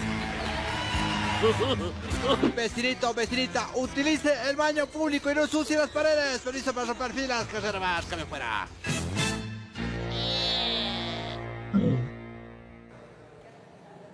Son las 8 de la mañana con 38 minutos y ahora cambiamos de ámbito informativo. En la vía Chimbo, el torneado Balsapamba, un accidente de tránsito dejó cinco personas fallecidas y otras siete heridas. El vehículo en el que viajaban cayó a un abismo. Ocurrió de madrugada, por ahora presumen que el chofer habría perdido pista justo en la curva, en una zona despoblada y cayó a un abismo de más de 150 metros de profundidad. Uno de los lugareños del sector de Santa Lucía que arribó al sitio relató que una sobreviviente llegó a su casa pidiendo ayuda. Una señora va a las doce y media, una de la mañana, pero le veo así ya herida las piernas y sin zapatos. La poca luz en la zona hacía el drama más profundo, solo escuchaban gritos de dolor y auxilio que salían desde la parte baja y nada podían hacer, solo esperaban que lleguen socorristas para poder descender y empezar las tareas de evacuación de los heridos y fallecidos. La gente ya así gritaban, eh, más dicho, ya unos lloraban, una chica acá adentro estaba atrapada y ella decía, sáqueme, sáqueme, como no se podía, como estaba contra los fierros. El vehículo en el que viajaban quedó reducido a un puñado de fierros. Muchos quedaron atrapados entre las latas. El rescate de los afectados demoró hasta el siguiente día. Vamos, vamos. Es un área eh, peligrosa, es un barranco, estamos a 150, 200 metros aproximadamente. Se hizo todo lo humanamente posible para eh, inmediatamente socorrer a las víctimas. Dos hombres e igual número de mujeres, además de un menor de 12 años, perdieron la vida. Siete viajeros sobrevivieron a la mortal caída. Ellos fueron evacuados de urgencia a casas de salud de Los Ríos y Bolívar para atender la emergencia y aliviar las dolencias. Nos hemos solidarizado con la función judicial de, de Babahoyo, de Los Ríos, y con los familiares de los compañeros judiciales que han perdido la vida en este lamentable accidente. Las autoridades confirmaron que los viajeros eran funcionarios del Consejo de la Judicatura de Babahoyo, quienes regresaban desde la capital luego de participar en una capacitación. Hubo una reunión este fin de semana aquí en Quito convocado por la Federación Nacional de Empleados Judiciales. La función judicial está de luto. Varios de sus funcionarios fueron abrazados por la desgracia. Cuando regresaban a casa, la muerte se le cruzó al chofer en el camino. Unos quedaron en medio de la ladera, otros llegaron hasta el fondo del barranco. Informó Iván Casamen.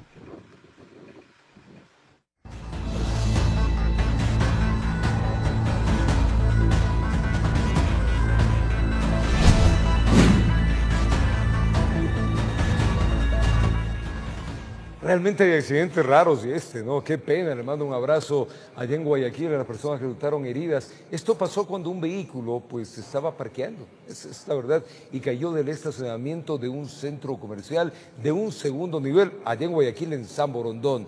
Aparentemente se hizo una mala maniobra y la conductora pues eh, había provocado este hecho, quedó herida, en fin, qué pena que pasen estas cosas, ¿no? Hay que estar muy, muy, pero muy pendientes, sobre todo cuando uno está parqueando también, hechos insólitos, solidaridad con estos vecinos allá en Guayaquil. Vamos.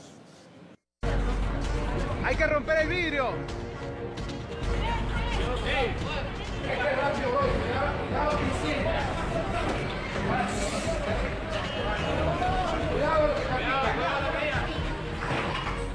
El impacto contra el piso hizo que todos se sorprendieran y el fuerte estruendo de su caída logró que automáticamente varias personas fueran a socorrer a los heridos.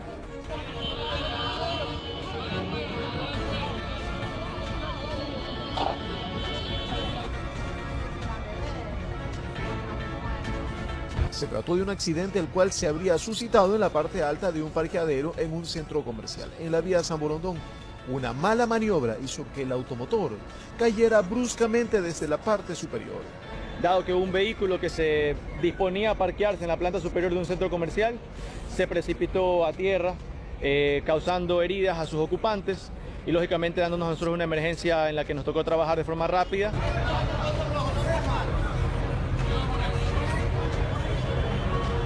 De este suceso, tres personas resultaron heridas, generando conmoción entre los peatones y conductores. Tuvo daños serios del vehículo y las personas fueron evacuadas hasta la casa asistencial más cercana, donde están siendo atendidas eh, las tres personas.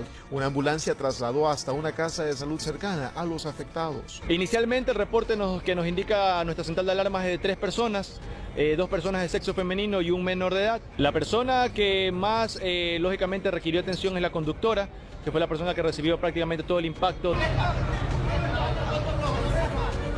De ahí que siguen las investigaciones respecto a este hecho, que rompió con la tranquilidad y lo cotidiano de un inicio de semana. Informó Julio César Sao. Y el cuerpo de un adulto mayor fue encontrado sin vida en la vía pública en el norte de Quito. Las autoridades aseguran que se trataría de una muerte natural.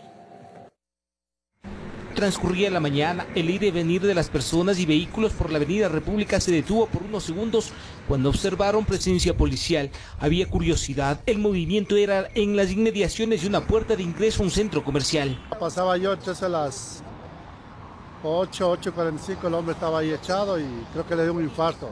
Aparentemente al hombre de 83 años de edad lo vieron caminando sobre la vereda, avanzando hasta el Eloy Alfaro, pero de pronto cayó y nunca se volvió a levantar. A la emergencia llegaron paramédicos de la Cruz Roja, quienes confirmaron su deceso. Presuntamente se trató de una muerte natural. Se ha desplomado mientras estaba transitando entre, en, la, en la avenida República entre Amazonas y Rey Alfaro. Según los paramédicos, pues se trata de un aparente eh, paro cardiorrespiratorio. Al anciano que por su edad caminaba lento, la muerte le sorprendió iniciando la semana. El destino le puso un alto a sus cansados pasos en plena vía pública. No presenta ninguna huella de violencia, es una muerte natural. El cuerpo fue levantado por medicina legal, tras lo cual volvió la normalidad. Todos se fueron, solo se quedaron en el sitio socios de una cooperativa de taxis que tienen su parada en los exteriores del centro comercial. Una pena, ¿no? Que Ah, de ley, eso es lógico, si es un ser humano quien ha muerto. Una lástima que estaba viniendo el hombre y algo le pasó. No se confirmó si salió a cumplir con algún trámite, mandado, encargo o simplemente caminaba buscando el sustento diario. En Quito informó Iván Casamen. Contarles ahora que un ciudadano fue asesinado en el interior de un domicilio. Esto pasó en la isla Trinitaria, en el sur de Guayaquil. El cuerpo presentaba varias puñaladas. El dueño de la casa donde vivía la víctima sería el principal sospechoso. Lunes 4 de la mañana. A esa hora solo se escucha el ruido de los camiones transitando por la vía perimetral. Sonido que ya resulta familiar para los habitantes de la cooperativa 22 de abril. Sin embargo, saltaron de sus camas al escuchar unos gritos desgarradores. Bueno, eh, lo que ha manifestado el señor es que él pudo escuchar eh, algún tipo de discusión y posteriormente él vio que uno de ellos salió en ropa interior eh, dándose a la fuga pues y posteriormente al llamar a la policía pudieron comprobar que una persona se encontraba eh, con heridas en diferentes partes del cuerpo, entre ellos el cuello, la cabeza, la mano izquierda. Yo no sé qué, qué puede haber pasado, yo no oí el grito nada más y ahí yo no vi nada, viví ya que nada más decía no, no, no, nada más. Según las versiones, la persona que corría con poca ropa es el dueño de casa.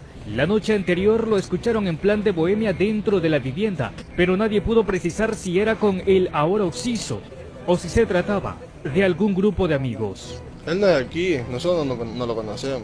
No, él no es aquí.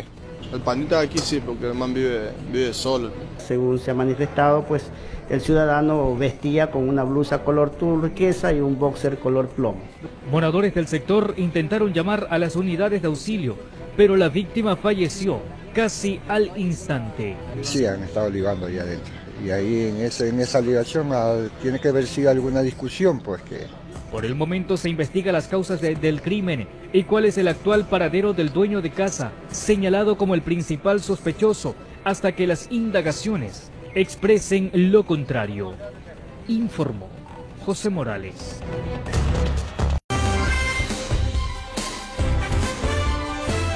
Son las 9 y 3 en la mañana, este es el primer noticiero de la comunidad, hay tiempo de saludar a Radio Quito, la voz en vivo en la capital. Así es, un abrazo fuerte para nuestros radioescuchas. Como siempre, ponemos a disposición de ustedes el número de contacto para que también sean parte del noticiero de la comunidad, el 098 518 4393 para cualquier novedad, cualquier denuncia, ya saben este número. Este Quito es tan raro, hace un momento fui a mi auto a coger una pastilla para la garganta, hay un ventarrón de verano, digo, así, típico quiteño. ¿Qué es pues este viento? y es que hace bastante frío, así que por favor a cuidarse cuando salga de, de su casa. Nosotros continuamos con más información y les contamos que durante su espacio el gobierno informa, el presidente Lenín Moreno exigió explicaciones al expresidente Rafael Correa sobre los fines de la colocación de una cámara oculta en su despacho. Por otro lado, exhortó a las organizaciones de la sociedad civil a que establezcan sus propuestas para la consulta popular cuya presentación oficial se realizará el próximo 2 de octubre. El mandatario insistió en que cuando parte de su equipo de seguridad sintió una alta temperatura en la pared del despacho presidencial, nunca se imaginó que allí había una cámara oculta. Por eso le formula más de una pregunta al presidente saliente. Primero, ¿usted ordenó colocar esa cámara? Segundo, ¿para qué la utilizaba? Espero que no haya sido para firmarnos en el buró político o a los ministros con los cuales conversaba. ¿Y con qué fines? Tercero, ¿Por qué no se me comunicó de su existencia? Y más grave, ¿por qué estaba todavía funcionando? Cuarto, usted habló de que había gente al interior del, del gobierno que le pasaba o le pasa documentación. Se preguntó entonces si aquello era o no espionaje o deslealtad, que el tema ya está en manos de la Fiscalía General del Estado, pero además por cuerdas separadas. La presidencia contrata la investigación de un equipo de seguridad internacional. Ser grabado sin consentimiento es algo oscuro que va contra los valores mínimos de ética. Sobre la consulta popular celebró que varias organizaciones de la sociedad civil se hayan sumado al diálogo nacional con sus preguntas y planteamientos. La consulta es un hecho, dijo, Les pido enviarlas a mi despacho máximo hasta el 26 de septiembre, pues el lunes 2 de octubre presentaré oficialmente el contenido de la consulta. Informó Jorge Escobar. Vamos a contarles que el bloque de oposición en la Asamblea Nacional analiza la posibilidad de llamar a que rinda cuenta Ronnie Vallejo, que es el secretario nacional de inteligencia. Esto por la cámara que se encontró en el despacho presidencial. El secretario deslinda responsabilidad de este hecho. Veamos. El pedido de comparecencia ante el Pleno de la Asamblea Nacional de Romy Vallejo, titular de la Secretaría Nacional de Inteligencia SENAIN, sale del bloque de Creo. Sus integrantes afirman tener suficientes razones. Para que todos los legisladores podamos hacerle preguntas al señor encargado de la SENAIN para que responda qué hacen espiando a un presidente, qué harían espiando a particulares. Todos tenemos derecho a la intimidad y esto viola viola claramente muchos aspectos que contempla la Constitución. El coronel del ejército ecuatoriano en servicio pasivo, Luis Hernández, tiene similar lectura. Dice que la cámara oculta en el despacho del presidente Lenín Moreno no se debe tomar a la ligera. Que si es que esa cámara era conocida por el Servicio de Protección Presidencial, tenía que haberle indicado eso, en este caso con nombres. El general Brito tenía que haber indicado al general Mosquera que hay esa cámara. Y el presidente tenía que haberle indicado presidente Correa al, señor presidente Moreno. A Hernández le preocupa más el uso que se le pudo haber dado a la información obtenida. Entonces, mire, ahí hay varios temas que dejan, que quedan sin respuesta y que llevan a indicios muy claros de que puede haber una organización, una organización ya son dos personas, que tenían el control de esto fuera de los sistemas de control del Estado. Y eso sería gravísimo. Lamenta que el expresidente Correa no le haya dado la importancia que se merece la denuncia. Lo cual realmente es, es, eh, es una pena, ¿no? Que un exmandatario que se le evidencia con hechos que hay una cámara que él no mencionó a su sucesor, eh, nos da a entender que eh, realmente los temas serios del Estado no se los maneja con la debida serenidad y, y madurez. Entre tanto, Romy Vallejo dice estar dispuesto a acudir al llamado del legislativo. La responsabilidad de la seguridad física y de las instalaciones de la presidencia de la República y del presidente de la República es del Servicio de Protección Presidencial. Entonces ellos tendrán que decir qué es lo que pasa. La Secretaría no tiene nada que ver. Informó Héctor Romero. Y presunto delito de peculado se habría cometido en la intermediación aplicada para la venta de petróleo ecuatoriano a China y Tailandia. El perjuicio ascendería a 2.220 millones de dólares, así lo denunció Fernando Villavicencio y el Colegio de Abogados de Pichincha. El activista político Fernando Villavicencio dice haber dejado de lado el trámite de asilo político en Perú para retornar a nuestro país y denunciar el supuesto delito de peculado que se habría cometido en el gobierno del expresidente Rafael Correa con la intermediación de la venta del crudo ecuatoriano con China y Tailandia. Petroecuador venía entregando su crudo con un diferencial con un castigo de casi, casi 4 dólares por barril. Hacen una venta spot, es decir, un concurso público y resulta que no hay castigo. Se presenta un premio de 0,51. Es decir, que lo que el país estaba perdiendo era más de 4 dólares por barril.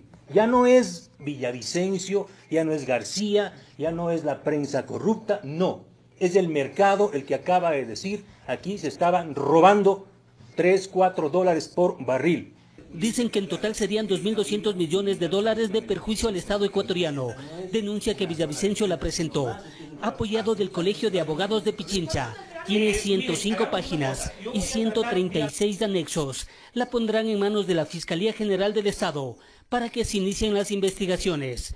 Aquí no solo se menciona al exmandatario Correa, sino al actual vicepresidente Jorge Glass. Existir malos manejos de fondos públicos, eh, sugerimos que el tipo penal sea el de peculado. Villavicencio tiene una orden de detención por supuestamente haber divulgado información reservada de Correa, pero cree que ya era hora de regresar al país. Y ante un pedido del presidente Lenin Moreno, de que todos los ciudadanos que sepan del cometimiento de delitos o de casos de corrupción, no se callen, que entreguen información. Efectivamente hay una orden de prisión preventiva en contra de Fernando, pero también existen medidas cautelares dictadas por la Comisión Interamericana de Derechos Humanos en el cual se protege su libertad personal. Informó Héctor Romero. Y justamente tras conocerse la presencia de Fernando Villavicencio en el país, la noche de este día lunes la Policía Nacional cercó los alrededores de la vivienda de este activista político mientras esperaba una orden de allanamiento. Villavicencio cuenta, hay que recordar, con una orden de prisión en su contra por supuestamente revelar información reservada del gobierno del expresidente Rafael Correa Delgado y estuvo refugiado desde el mes de abril allá en Perú. Hasta los exteriores de la vivienda llegaron varias personas que apoyaban al activista. Mientras tanto, la esposa de Villavicencio, Verónica Saraus, informó que elementos de la Policía Nacional aparentemente querían ingresar en la vivienda para proceder con la detención del activista político. 9 de la mañana con 12 minutos y el presidente del Consejo de la Judicatura, Gustavo Yalc, aseguró que tiene preparada toda la información pertinente para acudir a comparecer ante la Asamblea Nacional, donde deberá explicar sobre los procesos de sanción de jueces que habrían incurrido en el llamado error inexcusable fue la incorporación de 59 futuros jueces en donde Gustavo Yal, presidente del Consejo de la Judicatura, se pronunció, a la vez que halagaba el esfuerzo de los estudiantes para llegar a obtener su título. Hizo alusión a otros temas. Les falta experiencia, bueno, experiencia para hacer amarres, ajustes o cometer errores inexcusables, a lo mejor que esa experiencia ni la tengan.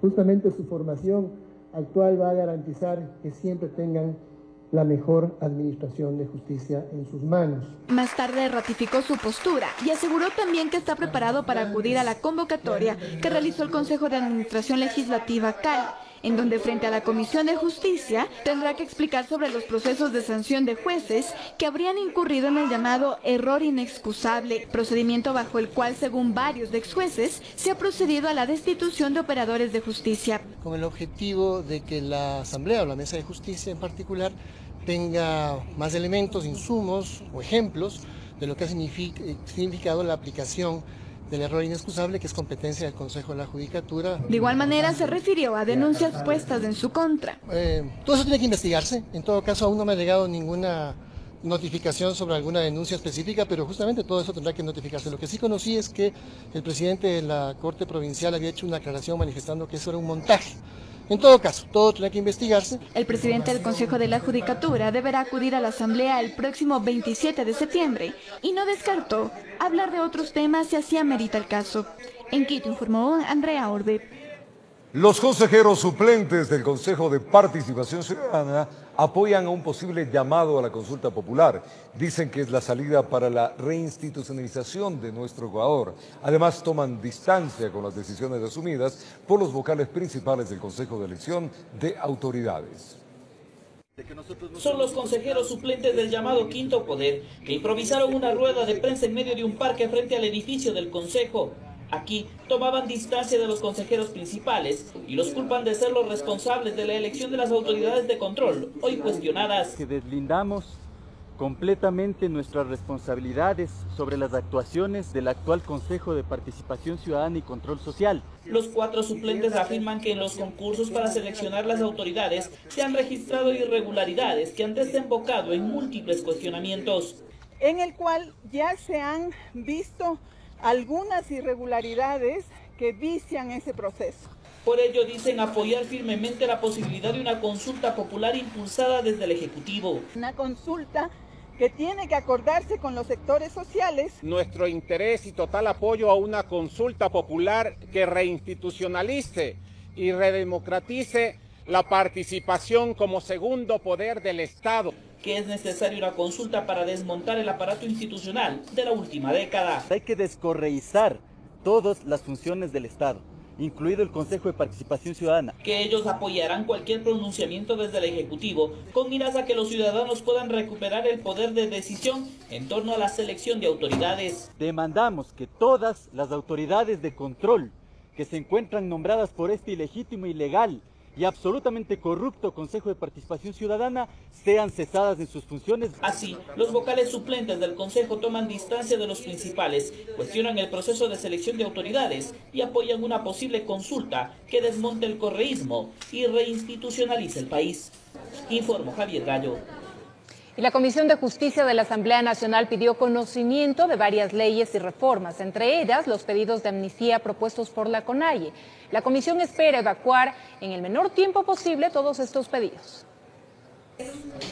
La Comisión de Justicia de la Asamblea abocó conocimiento del informe emitido por el CAL mediante el cual se dio paso a que se elaboren los informes para la entrega de una posible amnistía a al menos 30 dirigentes indígenas. En la comisión se dice que estos informes deberán ser analizados caso por caso y eh, una vez que tengamos el procedimiento aprobado, la metodología, eh, iniciaremos, como digo, revisar, revisar caso por caso. Eh, ustedes conocen lo que determina la ley orgánica de la función legislativa en el caso de amnistías, cuando corresponde, en el caso de delitos conexos a los temas políticos y no a otros que están estipulados en la misma ley. Y en Pachacuti están de acuerdo, pero piden que la lista de los posibles beneficiados incluya a los más de 200 nombres que fueron entregados en un inicio y no solo los 30 calificados por el Nosotros estamos exigiendo que se, que se dé las amnistías, los indultos a todos los compañeros que han sido eh, criminalizados y están procesados por protesta social. También hay los compañeros del Oriente específicamente que, que están procesados por estar defendiendo sus territorios. En sectores como el de los socialcristianos están de acuerdo en entregar una amnistía, pero diferenciando los casos para evitar que entre los beneficiados se incluyen a personas que han cometido delitos comunes. El tema es serio, no amnistía cualquiera, sino a quienes se merecen. La comisión espera tratar este pedido de amnistía lo más pronto posible y elevarlo mediante informe al Pleno que deberá ser aprobado por las dos terceras partes de sus integrantes. Informo Javier Gallo. Vamos a contarles ahora que miembros del Consejo Nacional de Gobiernos Parroquiales defienden una posible reforma para que perfectos sean elegidos por el sector rural, mientras que los actuales o las actuales autoridades rechazan esta propuesta y solicitan archivo de la misma. Continúan los desacuerdos frente al planteamiento de que los prefectos sean solo elegidos por la población rural, propuesta por los miembros del Consejo Nacional de Gobiernos Parroquiales con Agopare. Bolívar Armijos insistió en la necesidad de que se reforme el artículo 154 del Código de la Democracia. Lo que estamos pidiendo es equidad y justicia para los sectores rurales. Explican que es necesario de que se vialice la reforma. Una de las problemáticas sería la falta de obras. Dar derechos lo han venido haciendo los prefectos durante todos estos años, que con los recursos que pertenecen al sector rural, para las vías, para sistemas de riego, para actividades agropecuarias, ellos las han invertido en las ciudades haciendo su campaña anticipada. Mientras que el Consorcio de Gobiernos Provinciales del Ecuador Congope, que agrupa prefectos y prefectas, pidió el archivo de la propuesta el pasado viernes en una reunión que mantuvieron en la provincia del Guayas. Gustavo Baroja explica el porqué de la decisión. Es una propuesta que es inconstitucional y desde el inicio. Es decir, desde la afectación que se hace a un derecho fundamental de los ciudadanos y ciudadanas que en su jurisdicción territorial puedan votar por sus autoridades. Armijos además señaló que no se busca eliminar las prefecturas, que el objetivo es ser más equitativos en la entrega de recursos. El presupuesto se entrega a los gobiernos seccionales por población, pero también por necesidades básicas insatisfechas. Nuestro reclamo es que el presupuesto debe ir a atender al sector rural de sus necesidades. Días atrás, la propuesta de reforma al Código de la Democracia fue entregada por Conagopar, el presidente de la Asamblea Nacional, para su trámite, mientras que los prefectos esperan mantener una reunión en el Legislativo. Informó Priscila Cadena. Y el ex candidato presidencial Abdalá Bucarampule llegó hasta la fiscalía para denunciar supuestas amenazas por parte de Ricardo Rivera, tío del vicepresidente de la República, quien es investigado en el caso de Brecht. Desde el edificio judicial aseguró que solicitará protección a las autoridades de seguridad.